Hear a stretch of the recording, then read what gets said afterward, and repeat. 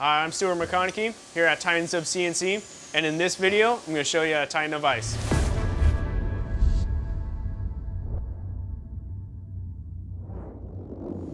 Normally, each vise comes with a vise handle that's used to tighten down your part.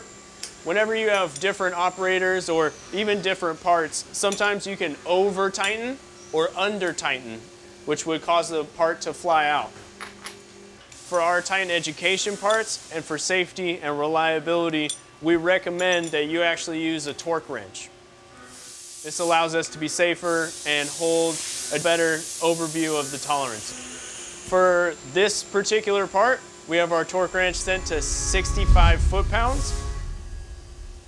Whenever you're using a torque wrench, you always want to push evenly all the way until the click.